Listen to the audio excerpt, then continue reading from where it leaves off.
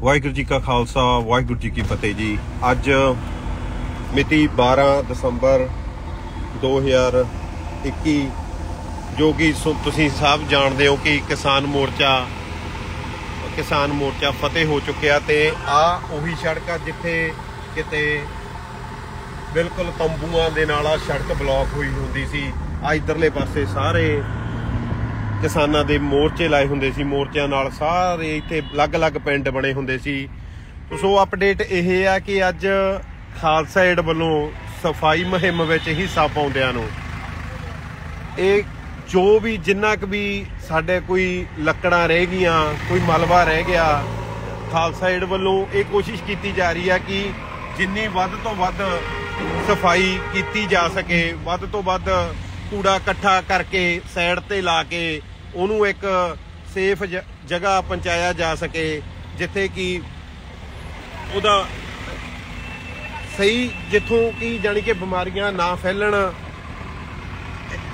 ਇੱਕ ਮਿੰਟ ਬਸ।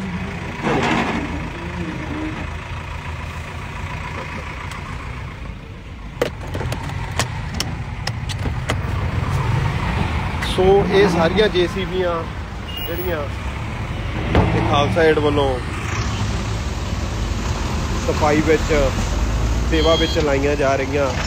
ਮੈਂ ਸਾਰੀ ਸੰਗਤ ਦਾ, ਸਾਰੇ ਵੀਰਾਂ ਦਾ, ਸਾਰੇ ਕੱਲੇ ਕੱਲੇ ਉਹ ਬੰਦੇ ਦਾ ਜਿਨੇ ਕੁਝ ਪਰਸੈਂਟ ਵੀ ਕੁਝ ਪਰਸੈਂਟ ਇੱਕ ਦਿਨ ਇੱਕ ਪੋਸਟ ਵੀ ਸ਼ੇਅਰ ਕੀਤੀ ਆ ਕਿਸਾਨੀ ਸੰਘਰਸ਼ ਲਈ।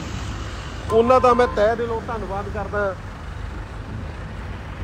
ਤੇ ਉਮੀਦ ਕਰਦਾ ਵੀ ਸਾਰੇ ਇਦਾਂ ਹੀ ਏਕਤਾ ਬਣਾਈ ਰੱਖਣਗੇ।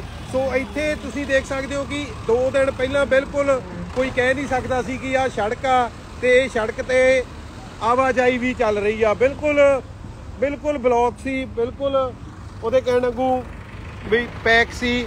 ਸੋ ਸਾਡੇ ਕਿਸਾਨ ਵੀਰ ਜੋ ਕਿ ਹੁਣ ਜਿੱਤ ਦਾ ਜਸ਼ਨ ਪੰਜਾਬ 'ਚ ਮਨਾ ਰਹੇ ਨੇ, ਆਹ ਬੈਰੀਕੇਡ ਸੀ ਜਿਹੜੇ ਲੋਕਾਂ ਦੇ ਉਹਦੇ ਕਹਿਣ ਵਾਂਗੂ ਰੋਟੀ ਬਣਾਉਣ ਲਈ ਜੋ ਸਰਕਾਰ ਨੇ ਲਾਈ ਸੀ ਰੋਟੀ ਬਣਾਉਣ ਲਈ ਵਰਤੇ ਜਾਂਦੇ ਸੀ ਤੇ ਅੱਜ ਇਹ ਤਾਂ ਇੱਥੇ ਹੀ ਨੇ, ਪਰ ਕਿਸਾਨ ਆਪੋ ਆਪਣੇ ਘਰੇ ਜਿੱਤ ਦੀ ਖੁਸ਼ੀ, ਆਪਣੇ ਟੱਬਰ ਨਾਲ, ਆਪਣੇ ਪਰਿਵਾਰਾਂ ਨਾਲ, ਆਪਣੇ ਬੱਚਿਆਂ ਨਾਲ ਸਾਂਝੀਆਂ ਕਰ ਰਹੇ ਨੇ। ਸੋ ਇਹੀ ਗੁਰੂ ਸਾਹਿਬ ਦੀ ਕਿਰਪਾ ਨਾਲ, ਸਬਰ ਨਾਲ, ਜ਼ਬਰ ਦਾ ਮੁਕਾਬਲਾ ਕਿਵੇਂ ਕਰੀਦਾ, ਇਹ ਸਾਡੇ ਕਿਸਾਨ ਵੀਰਾਂ ਨੇ ਸਾਨੂੰ ਕਰਕੇ ਦਿਖਾਇਆ। ਤੁਹਾਨੂੰ ਸਮੇਂ-ਸਮੇਂ ਸਿਰ ਅਪਡੇਟ ਦਾ ਹੀ ਅਪਡੇਟ ਦੇਣ ਦਾ ਇਹੀ ਮਤਲਬ ਆ ਕਿ ਕੀ ਕੀ ਹੁਣ ਚੱਲ ਰਿਹਾ ਕੀ ਕਿਵੇਂ ਨਹੀਂ ਕਿਵੇਂ ਕੀ ਕੀ ਮਾਹੌਲ ਆ ਇੱਥੋਂ ਦਾ? ਬਿਲਕੁਲ ਤੁਸੀਂ ਦੇਖ ਸਕਦੇ ਹੋ ਆਹ ਆਹ ਬਿਲਡਿੰਗਾਂ ਕਿਤੇ ਦਿਖਦੀਆਂ ਨਹੀਂ ਹੁੰਦੀਆਂ ਸੀ। ਇਧਰਲੇ ਪਾਸੇ ਉਹ ਖੜਿਆ ਪਰਲੇ ਪਾਸੇ ਦਿਖਦਾ ਨਹੀਂ ਹੁੰਦਾ ਸੀ ਕਿ ਉਹ ਗੇਟ ਆ ਜਾਂ ਗੇਟ ਨਹੀਂ ਆ ਸਾਰਾ ਪੈਕ ਹੁੰਦਾ ਸੀ। ਸੋ ਅੱਜ ਅਮਰਪ੍ਰੀਤ ਸਿੰਘ ਜੀ ਨਾਲ ਗੱਲ ਕਰਾਂਗੇ। ਹਾਂਜੀ ਬਾਈ ਜੀ। ਦਿਓ ਜੀ। ਤੁਸੀਂ ਦੱਸ ਹੀ ਦਿੱਤਾ ਵੈਸੇ ਸਾਰਾ ਕੁਝ ਵੀ ਇਹ ਕੰਮ ਵੀ ਅਖੀਰ ਦੇ ਵਿੱਚ ਬਹੁਤ ਜ਼ਿਆਦਾ ਜ਼ਰੂਰੀ ਸੀ। ਜਿਵੇਂ ਪਹਿਲੇ ਦਿਨ ਅਸੀਂ ਇੱਥੇ ਪਹੁੰਚੇ ਆ ਸੋ ਇਹ ਵੀ ਸਾਡਾ ਹੀ ਫਰਜ਼ ਬਣਦਾ ਹੈ ਕਿ ਅਸੀਂ ਸਫ਼ਾਈ ਦਾ ਖਿਆਲ ਰੱਖੀਏ। ਔਰ ਸੱਚ ਜਾਣਿਓ ਕਿ ਜਿਵੇਂ ਜਿਵੇਂ ਸਫ਼ਾਈ ਚੱਲ ਰਹੀ ਹੈ ਸਵੇਰ ਦੇ ਸੇਵਾਦਾਰ 9 ਵਜੇ ਮਸ਼ੀਨਾਂ ਚਾਲੂ ਹੋ ਗਈਆਂ ਸੀਗੀਆਂ। ਤੇ ਹੁਣ ਪੂਰਾ ਏਰੀਆ ਕਵਰ ਕਰਦੇ ਕਰਦੇ ਅਸੀਂ ਕੇਐਮਪੀ ਹਾਈਵੇ ਤੱਕ ਪਹੁੰਚ ਚੁੱਕੇ ਹਾਂ। ਔਰ ਰਸੋਈ ਢਾਬੇ ਦੇ ਕੋਲ ਇਸ ਟਾਈਮ ਸਾਰੀਆਂ ਮਸ਼ੀਨਾਂ ਲੱਗੀਆਂ। ਔਰ ਜਿੰਨੀਆਂ ਗੱਡੀਆਂ ਟ੍ਰੈਫਿਕ ਲੰਘ ਰਿਹਾ ਉਹ ਸਪੈਸ਼ਲ ਰੁਕ ਰੁਕ ਕੇ ਧੰਨਵਾਦ ਕਰ ਰਹੇ ਨੇ ਕਿ ਇਹ ਕੰਮ ਕਰਕੇ ਹੀ ਇਹੋ ਐਕਟੀਵਿਟੀਜ਼ ਕਰਕੇ ਕਹਿੰਦੇ ਤੁਸੀਂ ਮੋਰਚਾ ਜਿੱਤਿਆ। ਸੋ ਇਹ ਸਾਰਾ ਕੁਝ ਤੁਹਾਡੇ ਦਸਵੰਦ ਦੇ ਨਾਲ, ਤੁਹਾਡੇ ਸਹਿਯੋਗ ਦੇ ਨਾਲ ਹੋ ਰਿਹਾ। ਤਾਂ ਜੋ ਇਹ ਸਫ਼ਾਈ ਦੇ ਵਿੱਚ ਵੀ ਜਿਹੜਾ, ਜਿਵੇਂ ਕਹਿੰਦੇ ਨਾ, ਅੱਜ ਹਾਲਾਤ ਇਦਾਂ ਬਣੇ ਹੋਏ ਆ, ਜਿਵੇਂ ਵਿਆਹ ਕਰਕੇ ਬੰਦਾ ਸਮਾਨ ਨੂੰ ਚਕਾਉਂਦਾ ਹੈ ਨਾ, ਉਦਾਂ ਦੇ ਹਾਲਾਤ ਬਣੇ ਆ ਵੀ ਇਹ ਵੀ ਜ਼ਿੰਮੇਵਾਰੀ ਸਾਡੀ ਬਣਦੀ ਹੈ ਕਿ ਸਫ਼ਾਈ ਦੀ ਔਰ ਇਹ ਮਸ਼ੀਨਾਂ ਜਿਹੜੀਆਂ ਲੱਗੀਆਂ ਨੇ, ਉਹ ਇਹ ਖਾਲਸਾ ਏਡ ਦੇ ਵੱਲੋਂ ਜੋ ਸਹਿਯੋਗ ਹੋ ਸਕਦਾ ਹੈ, ਜਿੰਨੀ ਸੇਵਾ ਹੋ ਸਕਦੀ ਹੈ, ਇਹ ਸਾਰੇ ਸੇਵਾਦਾਰ ਅੱਜ ਇਸੇ ਮੁਹਿੰਮ ਦੇ ਉੱਤੇ ਲੱਗੇ ਹੋਏ ਆ ਔਰ ਕੋਸ਼ਿਸ਼ ਹੈ ਕਿ ਅੱਜ ਸ਼ਾਇਦ ਇੱਕ ਰਾਉਂਡ ਸਾਡਾ ਕੰਪਲੀਟ ਹੋ ਜਾਏਗਾ। ਅਗਰ ਲੋੜ ਪਈ, ਤਾਂ ਕੱਲ ਵੀ ਅਸੀਂ ਇਹ ਸਫ਼ਾਈ ਦਾ ਰਾਉਂਡ ਜ਼ਰੂਰ ਲਾਵਾਂਗੇ। ਸੋ ਡਿਪੈਂਡ ਕਰਦਾ ਕਿ ਕਦ ਤੱਕ ਇਹ ਮਸ਼ੀਨਾਂ ਹੁਣ ਚੱਲ ਪਾਣਗੀਆਂ। ਸੋ ਮੈਂ ਸਾਰੀ ਸੰਗਤ ਦਾ ਧੰਨਵਾਦ ਕਰਦਾ ਵੀ ਇਹੀ ਰਿਸਪੌਂਸਿਬਿਲਟੀ ਨਿਭਾਉਣੀ ਔਰ ਇਹ ਕੰਮ ਇਸ ਟਾਈਮ ਦੇ ਉੱਤੇ ਬਹੁਤ ਮਸਤ ਸੀਗਾ। ਸੋ ਮਾਲਕ ਨੇ ਸੇਵਾ ਲਿੱਤੀ ਹੈ, ਸੋ ਸਾਰਿਆਂ ਦਾ ਬਹੁਤ ਬਹੁਤ ਧੰਨਵਾਦ ਹਾਂਜੀ ਭਾਈ ਜੀ। ਜਿਵੇਂ ਭਾਈ ਅਮਰਪ੍ਰੀਤ ਨੇ ਦੱਸਿਆ ਕਿ ਵਿਆਹ ਹੋ ਜਾਂਦਾ, ਡੋਲੀ ਲੈ ਕੇ ਬਰਾਤ ਚਲੀ ਜਾਂਦੀ ਆ, ਮੁੜ ਕੇ ਮੁੜ ਕੇ ਕੰਮ ਕਰ ਕਰਨ ਵਾਲੇ ਬੰਦੇ ਮਗਰ ਰਹਿ ਜਾਂਦੇ ਆ, ਉਹ ਸਾਫ਼ ਸਫ਼ਾਈ ਡੋਲੀ ਪੰਜਾਬ ਪਹੁੰਚ ਚੁੱਕੀ ਆ। ਵਿਆਹ ਦੇ ਜਸ਼ਨ ਮਨਾਇਆ ਜਾ ਜਾ ਰਿਹਾ। ਉਹਦੇ ਕਹਿਣ ਵੀ ਪੰਜਾਬ ਬਰਾਤ, ਬਰਾਤੀ ਵਾਪਸ ਮੁੜ ਚੁੱਕੇ ਨੇ ਆਪਦੇ ਆਪਦੇ ਘਰਾਂ ਨੂੰ। ਤੇ ਜਿਹੜੇ ਕੁੜੀ ਵਾਲੇ ਘਰੇ ਜਿਹੜੇ ਕੰਮ ਨਿਬੇੜਨ ਵਾਲਾ ਕੰਮ ਹੁੰਦਾ ਉਹ ਅੱਜ ਖਾਲਸਾ ਏਡ ਉਹ ਅੱਜ ਖਾਲਸਾ ਏਡ ਨਿਭਾ ਰਹੀ ਆ। ਸੋ ਦਿੱਲੀ ਦੀਆਂ ਕੰਧਾਂ ਤੇ ਵੀ ਆ, ਤੁਸੀਂ ਦੇਖ ਸਕਦੇ ਹੋ ਦਿੱਲੀ ਫਤਿਹ।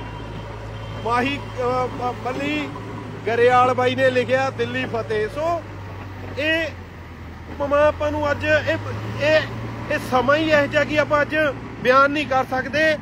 ਦਿੱਲੀ ਵਾਲੇ ਲੋਕ ਆਮ ਬੰਦਾ ਦੇਖਦਾ, ਯਾਰ, ਕੌਣ ਹੋ ਤੁਸੀਂ? ਕਿੱਥੋਂ ਆਏ ਹੋ? ਕੀ ਚਾਹੁੰਦੇ ਹੋ? ਉਹਨਾਂ ਨੂੰ ਇਹੀ ਨਹੀਂ ਸਮਝ ਆ ਰਿਹਾ ਵੀ ਇਦਾਂ ਵੀ ਸੇਵਾ ਹੋ ਸਕਦੀ ਆ ਇਦਾਂ ਵੀ ਮੋਰਚੇ ਲਾਏ ਜਾ ਸਕਦੇ ਆ।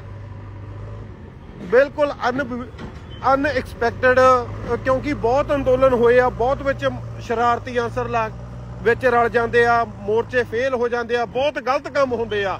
ਮੋਰਚਿਆਂ ਦੇ ਨਾਂ ਤੇ ਬਹੁਤ ਗਲਤ ਕੰਮ ਹੁੰਦੇ ਆ, ਪਰ ਮਹਾਰਾਜ ਦੀ ਕਿਰਪਾ ਲਾ ਲਓ, ਤੁਸੀਂ, ਮੈਂ ਤੁਹਾਨੂੰ ਦੱਸ ਨਹੀਂ ਸਕਦਾ ਕਿ ਇੱਥੇ ਜਿਹੜੇ ਆਹ ਸਫ਼ਾਈ ਇੱਕ ਆਪਣਾ ਤਾਂ ਬਿਲਕੁਲ ਆਪਾਂ ਤਾਂ ਸਾਲ ਤੋਂ ਇੱਥੇ ਆ ਤੇ ਆਪਾਂ ਤਾਂ ਸਫ਼ਾਈ ਕਰਨੀ ਹੋਈ, ਕਰਨੀ ਹੀ ਕਰਨੀ ਸੀ। ਬਹੁਤ ਹੋਰ ਸਾਡੇ ਭਰਾ ਲੱਗੇ ਹੋਏ ਆ।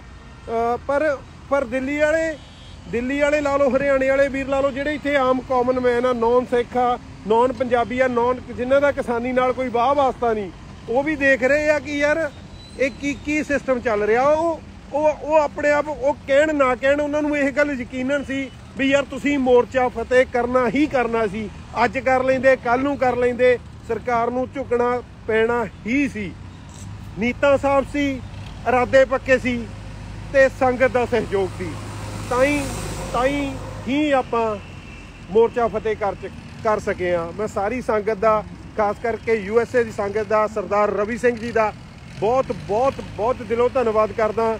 ਜੋ ਉਹਨਾਂ ਨੇ ਸੇਵਾ ਦਾ ਮੌਕਾ ਦਿੱਤਾ ਤੇ ਇੰਨਾ ਇੰਨਾ ਕੁਝ ਇੰਡੀਆ ਟੀਮ ਕਰਕੇ ਯੂ ਐੱਸ ਏ ਟੀਮ ਕਰਕੇ, ਕੈਨੇਡਾ ਟੀਮ ਕਰਕੇ, ਸਾਰੇ ਸਾਰੀ ਸੰਸਾਰ ਦੀ ਟੀਮਾਂ ਜੋ ਇੱਥੇ ਇੱਕ ਚੰਗੀ ਸੋਚ ਨਾਲ ਰਲੀਆਂ ਤੇ ਅੱਜ ਅਸੀਂ ਮੋਰਚਾ ਫਤਿਹ ਕਰ ਲਿਆ ਜੀ। ਵਾਹਿਗੁਰੂ ਜੀ ਕਾ ਖਾਲਸਾ, ਵਾਹਿਗੁਰੂ ਜੀ ਕੀ ਫਤਿਹ।